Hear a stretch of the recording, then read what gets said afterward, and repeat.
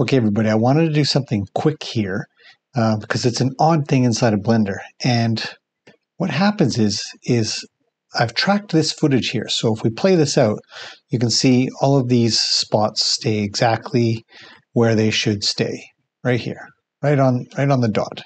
You can see that very, very clearly.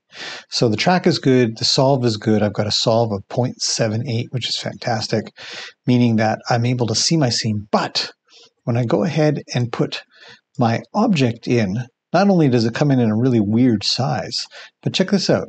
Look at how much it floats around all over the place.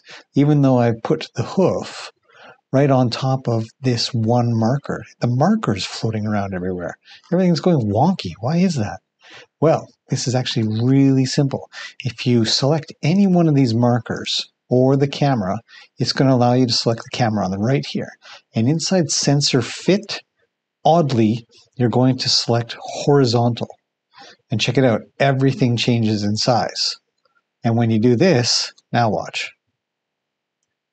My horse stays exactly where the horse should stay because it's finally tracked into the scene perfectly. So anyways, quick tip for anybody that's working with vertical footage. This doesn't happen in horizontal, happens vertical that you want to change your sensor fit to horizontal, not auto.